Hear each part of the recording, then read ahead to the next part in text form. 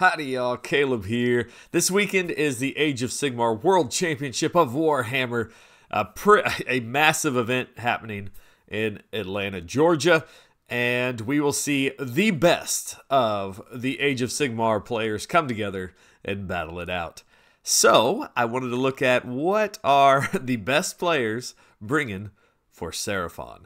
We have seven Seraphon lists coming to this tournament, and all names that you'll have recognized before that we've seen lists of before doing very well at tournaments, winning tournaments. Generally, to get into this thing, you had to win a big GT. So, uh, very experienced players with great lists, and we'll take a look at those. Now, we do have seven Seraphon lists, six of which are Fangs of Sotek, and one, one Koatl's Claw. So, we'll take a look at those. What, what do they have in common? What are they trying to accomplish? And hopefully not give away too many secrets so that um, Seraphon can still do well in this tournament. I'm definitely rooting for all you guys, hoping you do well. The first one I want to look at, we'll look at the Koatl's Claw list first because it's the the one unique list here for Seraphon. This is run by Dean. We've seen his name pop up quite a few times. He's a very good Seraphon player, and he's taken Koatl's Claw. What a hero, taking out a Saurus list to a big event like this. So he's got Koatl's Claw, and uh, he has his Mortal Realm listed here. I'm not sure what that does. Uh, but Grand Strategy, Spellcasting Savant, and Triumph Inspired. So Spellcasting Savant keeps your, you have to keep your Wizard General alive until the end of the game. So his General is the Slann Starmaster as the General with command trait Shaman of the Chill Lands, and his lore spell is going to be taken Empowered Celestite. So I like this setup for a Slann in Koatl's Claw because it allows you to get all the stuff from the the um, the GHB spell lore. So you've got Hoarfrost, you've got um, Merciless Blizzard, and you've got Rupture if you end up running across a, a, a incarnate. So a great command trait for Koatl's Claw because it allows your shot your Slann to actually do some stuff where he's gets a little limited without this. Uh, you don't really like taking him as your general, but I think in this loadout it's a great idea because it allows him to to be a little bit more effective.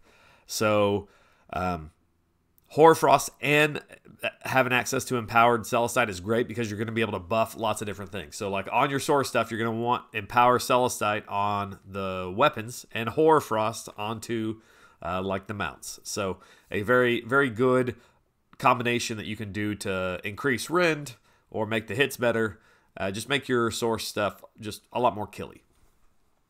That's an official word, killy. um, Merciless Blizzard is just a great deterrent, and since you don't have to take that as a spell, as your spell enhancement here, that gives you access to it from Shaman of the Chill Lands. That's always a great deterrent. Don't come into my castle because I've got I've got Merciless Blizzard uh, primed and waiting for you. Uh, he also has a Skink Oracle on Troglodon, which is an interesting pick here for Koatl's Claw.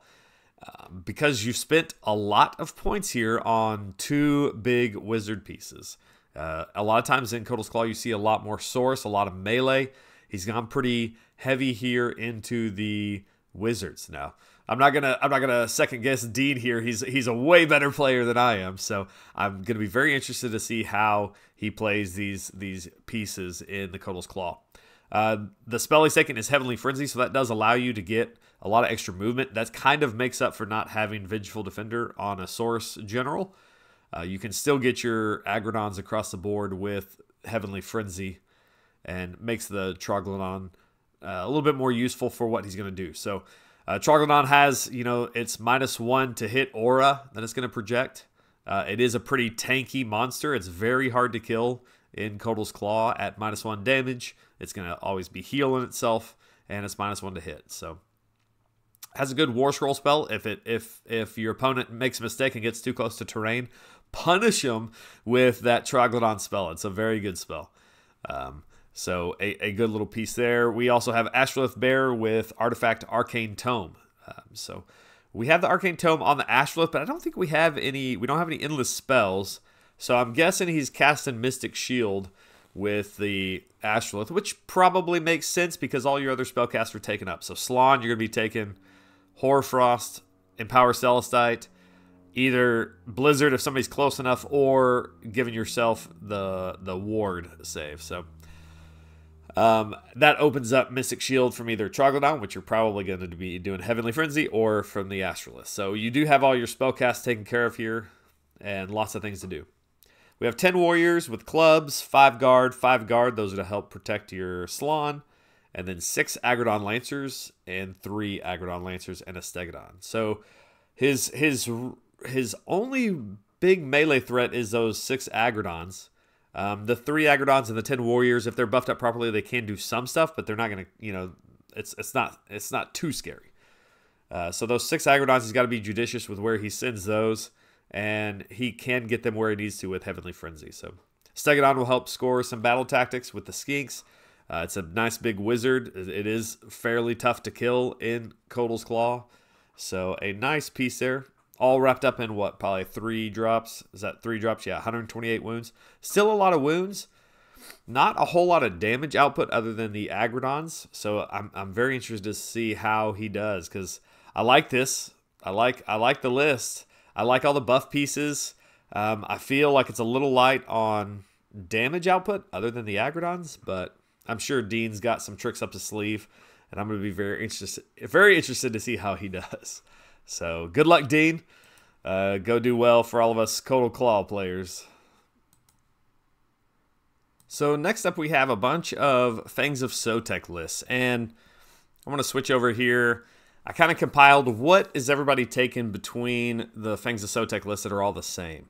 And it didn't really surprise me because what we have here is we have a lot of these pieces that build up that core of the Fangs of Sotek list. Virtually everyone took a Slann, Kroak, Starseer, Astrolith, Star Priest, Guard, and Skinks. That's kind of your your base loadout for Fangs of Sotek. Um, every single Fangs of Sotek list took the command traits of Lord of Celestial Resonance, which helps you get more summoning points, and then the artifact space folder stave. So you can drop something out on your next turn within seven inches. Just gives you a lot of flexibility, flexible, um, tactical options as as you bring something in from summoning. So a lot of the same stuff is used in these Fangs of Sotek lists, and it's a lot of the same stuff we've seen employed uh, throughout the last few months as the Fangs of Sotek lists have kind of been finely tuned. So uh, the things that we see differ a little bit are what is filling up that last few points. The core of Fangs of Sotek list is pretty much always the same.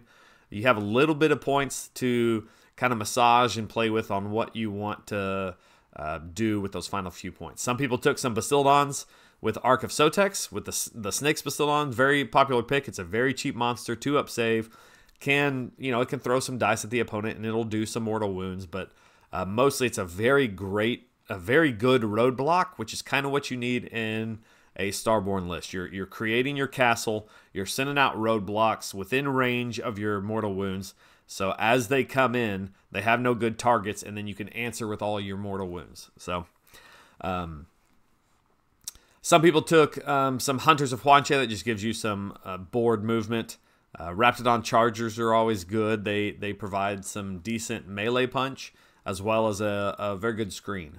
So, uh, Terror Wings were chosen in one list, and a Skink Oracle on Troglodon was taken in another list. So, um, Grand Strategy was virtually all the same except for for uh, Macrum. He took Magic Made Manifest as his grand strategy. Very interesting in that this one requires you to have two endless spells alive at the end of the game. Um, so, a uh, I'm going to be interested to see if he if he accomplishes this very often because to me this has always been the grand strategy of if you don't go last in turn five, you lose the game because they'll just they'll take one of your endless spells off the board and then you don't you don't get your grand strategy. If you're running over the person, then it's probably not a big deal. You'll have those up. But if you leave a wizard alive or two wizards alive, and then then you're going to fail this pretty easy. So uh, interesting choice there. Uh, Spellcasting Savant seems like the easy go-to. Uh, so I'll be interested to see if he if he gets Magic Made Manifest. We do have a lot of endless spells in these lists, as you would expect. Malevolent Maelstrom, even with its points increase and the change in its War Scroll, is still a great spell to take in this list because it will add you extra damage uh, throughout the entire game. Every every turn, it it will generally explode and do mortal wounds. Even with the change in the the war scroll, you're still going to get a lot of damage out of this thing. Uh, Chronomatic Cogs was taken in quite a few lists to get just to give you the extra summoning points, the extra spell cast, a a nice little utility piece there that will pay dividends over the course of the game. Uh, Gravetide taking ones, Aether Void Pendulum taken a couple times. Aether Void, I really like that one because you can you can throw it pretty far across the board with the Astrolith, and it will do some damage there. Gets you know it's a good one to get battle tactics with for killing a unit with Endless Spell. Gravetide, Geminids, and Umbral Spell Porter were all taken. Um, so interesting spread there, but I think the core of our Fangs of Sotek lists kind of remain the same throughout all of these. Um, so let's take a look at some of these lists real quick, see what makes them makes them tick here. This one is from Christoph Pan. He uh, let's see what what's the differentiator on his list. He's got the two Bastildons with Ark of Sotek and his Fangs of Sotek list, and I, this is I, I, like this. It's very popular uh, in that you'll have some armies that just can't deal with a two up save monster, especially I think he's got, let's see, does he have any Star Seers? He has a Star Seer here, so wait till turn two, and you're going to pop, you know, that 5 up ward on both of those, and it makes them a lot tougher now. Now they're 2 up save, 5 up ward. They're going to be very difficult to remove. Uh, and combined together, they're going to roll just a ton of dice at you, hoping for mortal wounds. The next list was Cody, and he is also Fangs of Sotek. He's got two Star Seers here. Uh, a Star Priest, Basically, everything else is kind of the similar. One Ark of Sotek and some endless spells. He does have Hunters of Huanchi in there, so a little bit of a little bit of differentiation there, mainly with the extra Star Seer. That will allow him to keep that five up ward on the Bastildon for longer, if that's what he's going for. But it also has, I mean, you have a lot of in a lot of spells to cast here. You've got six. Is that six wizards? Well, only five because the Astrolith isn't a wizard in this version. Um, but he does have a lot of spells to cast in this list, and that's going to gain him a lot of summoning points. Um, next up, actually, this was Christopher Goslin's army. Uh, sorry, the the next one is Cody. Um, Cody has uh, let's see what's he what's his his differentiation here. He's got some Chargers and some uh, Basildon with of He did take uh, Star Priest here with Cosmic Crush. Yeah, so it looks like basically his difference is just the Raptidon Chargers. He he took a, a fewer endless spells, but swapped out a Raptidon Charger for instead of the Ark of Sotek. So other than that, it looks like fairly similar to everyone else's. All right, what about Frank? Frank's list here. Uh, yes, this one. He's got uh, the two Star Seers, um, uh, Star Priest also, but then he's got 10 Raptidon Chargers. Very interesting. This one, I don't know that I've ever seen anybody take 10 Raptor, like a reinforced unit of Raptidon Chargers. Uh, maybe he's been doing this for a while and I haven't noticed, but um, 10 Raptidon Chargers, that is a lot of damage when you get it into the right target. Uh, let's see, does he have Speed of Huanchi? Yeah, he has Speed of Huanchi, so he can get them where he needs to go. He's got Horror Hoarfrost to buff them up. His Star Priest can give them mortal wounds. I mean, this unit can do uh, incredible amount of damage, especially if you're on an objective. Um, so 10 Raptidon Chargers is difficult to get them all in combat unless you're doing, you know, like that weird formation, which takes forever to line up. But you can reliably get, you know, seven of these into combat, eight if you're a little bit more risky and just putting the triangle on the ends. So um, either way, it is a ton of dice you're going to be rolling at somebody, and they will stay alive a little bit longer this way, and you'll be able to, to rally them back up to full strength. So, an interesting choice there. 10, 10 Raptidon Chargers. It scares me that, you know, their save is so bad, a 5 up save. Having, having uh, you know, 10 of them there, but still, I like, I like it. a melee punch that you don't normally see in Fangs of Sotek. The next one was Macrum's list with, you know, magic made manifest as his grand strategy. A, a risky take there.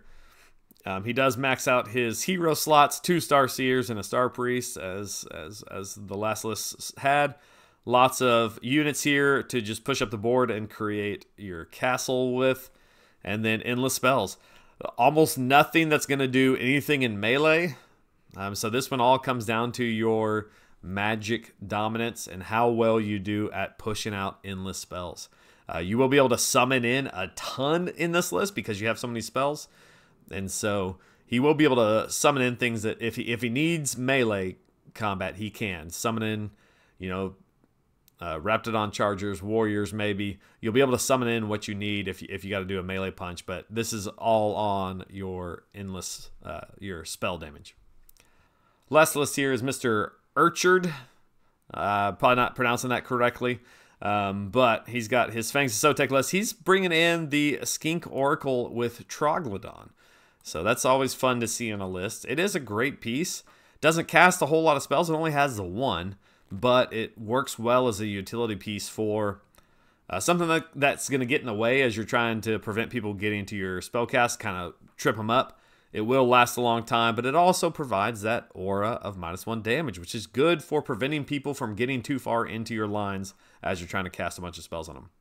Two Star Seers, Kroaks, Starmaster, and uh, Astrolith, Skinks, Saurus Guard, Saurus Guard, some Hunters of Huanchi, and Endless Spell. So pretty standard there. His one twist is the Troglodon he's got. So nice little spread over Fangs of Sotek, but you can see how that core of Fangs of Sotek works.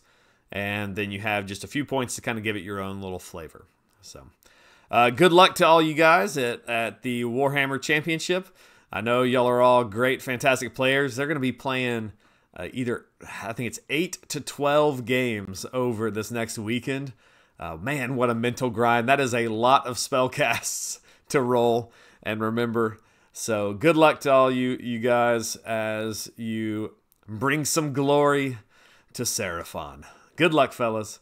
And we'll catch you in the next one.